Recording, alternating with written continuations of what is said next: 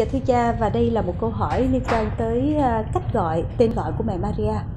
Câu hỏi của khán thính giả Lương Bảo Trâm ở tại Arizona. Thưa cha, con xin cha giải thích giúp con về cách người Việt Nam gọi Đức Mẹ. Ở Hoa Kỳ, trong tiếng Anh thường chỉ gọi là Mother of God hay Blessed Virgin Mary. Vậy tại sao khi chuyển sang tiếng Việt lại gọi là Đức Mẹ thay vì chỉ gọi là Mẹ Thiên Chúa hay Trinh Nữ Maria? Khi gọi Đức Mẹ có ý nghĩa gì đặc biệt không thưa cha? chúng ta thấy uh, mỗi một cái ngôn ngữ nó có một cái cách diễn tả nó khá tinh tế. Uh, tôi còn nhớ khi mới vào nhà dòng đó thì uh, cha giáo dạy chúng tôi kỹ lắm. Khi uh, đọc các bản văn kinh thánh thì anh em phải cẩn thận.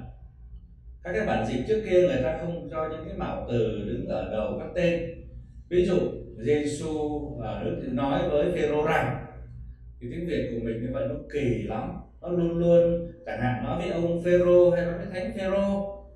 À, ví dụ trong bản văn tiếng Anh tôi nói ví dụ như vậy Jesus said Jesus said. Đức Giêsu nói tiếng Việt mình chỉ cần Đức Giêsu nói mình mình phải Giêsu nói được đúng không ạ? À, cho nên là phải có thêm một cái mạo từ để diễn tả cái sự kính trọng à, thì đấy là cái điều mà ta thấy là đơn giản nhất. Thế bây giờ cụ thể liên quan đến cái chữ đức. Cái chữ đức tiếng việt mình nó có nghĩa gì? Và tại sao lại thêm chữ đức vào? Mà trong khi các bản văn khác nó không có. Chẳng hạn bản văn nước ngoài như người chị em ta nói không có. Chữ đức nó trước hết theo tiếng hán đó thì uh, tôi đọc giải thích của cha huỳnh trụ đó thì trong tiếng hán chữ đức chỉ có một chữ duy nhất thôi. À, thế cái nghĩa nguyên thủy của nó là cái gì đó tốt đẹp nhìn rõ phương hướng đi đúng vào con đường chính lộ. À, sống hợp với đạo trời thì nó là đức. À, nó là cái gì đó tốt đẹp. À, và một cách ứng dụng khi mà nhà đạo chúng ta người Kitô hữu chúng ta dùng cái chữ đức thì chữ đức ở đây có thể hiểu như là lòng đạo đức hay hiểu như là một cái đức độ một cái ơn Chúa ban cho chúng ta nói đến đức tin, đức cậy, đức mến đức ở trong tiếng Hán nhưng mà cái chữ mà người chị em chúng ta đang thắc mắc là gắn cái chuyện gọi là đức mẹ, thì cái chữ đức này nó không phải tiếng hán, mà chữ đức đó là tiếng nôm. Là tiếng nôm.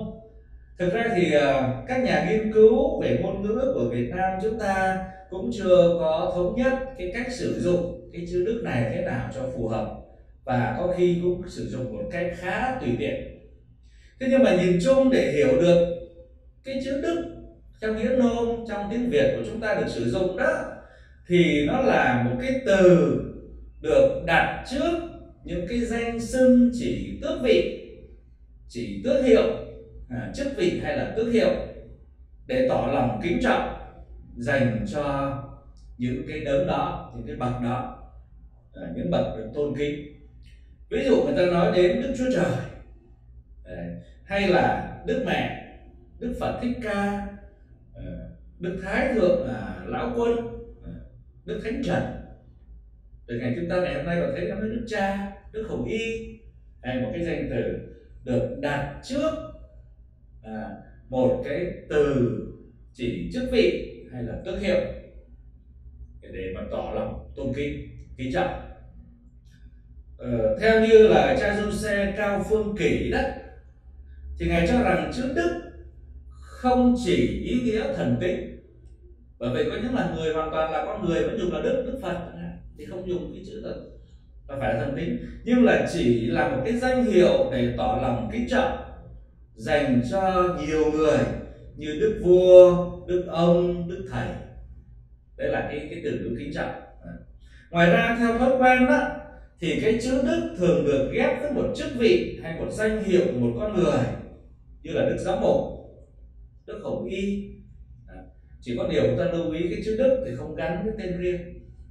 Chúng ta vẫn quen và sử dụng ví dụ không ai gọi là đức đạo. Không ai gọi như vậy. Đức tổng giám mục bùi văn đạo. Không ai gọi là đức đạo. Đức cha uh, giám quản của chúng ta và đức cha hùng thì không gọi là đức hùng. cho nên nếu ta gọi là đức Giêsu hay là Đức Maria thì cái kiểu gọi đó chúng ta quen lắm, nhưng mà nó không đúng. Không thể gọi Đức Maria. Nếu gọi Đức Maria thì cũng gọi giống như là gọi Đức đặc Đức Hùng. Đó không nào? Cho nên thường thì cái chữ Đức nó gắn như tôi đã nói đó, là một cái danh xưng chỉ chức vị hay là tước hiệu, chứ không gắn gắn với lại cái danh từ riêng, tên riêng. À, không gắn danh từ riêng. Đức giám mục thì được. Chứ còn không dùng cái chữ Đức đó gắn với tên. Đức Hồng Y Giuse Maria Trịnh Văn Căn chứ không nói Đức Căn Đấy. tiếng Việt mình nó như vậy nhưng mà dùng riết dùng sai riết rồi nó quen. Đến độ thôi thì dùng như vậy mà không sửa. Đức Giêsu Đức Maria. À, nếu mà xét theo phân tích là ngôn ngữ thì có lẽ nó không rõ không trội của trận lắm. Nhưng mà nó dùng quen thì ở đây tóm lại cái câu hỏi của chị em chúng ta tại sao trong tiếng Việt mình uh, là gì là Đức Mẹ mà trong tiếng Anh thì chỉ là Mother God chẳng hạn mẹ Thiên Chúa thế thì bây giờ Đức Mẹ là gì thưa là một cái từ ngữ dành dùng với thái độ tôn kính trân trọng Thế cha vậy thì nếu như mà có thể đề nghị cách gọi cho đúng thì sẽ gọi là thế nào? Đức Mẹ Maria, Đức Trinh Nữ Maria, dạ. ừ, Đức Thiên Chúa Thánh Mẫu. Cảm ơn cha. Thật sự là thông qua cái phần ờ, giải đáp của cha thì chúng con có thêm được những thông tin và những cái dữ liệu bổ ích về Đức Mẹ.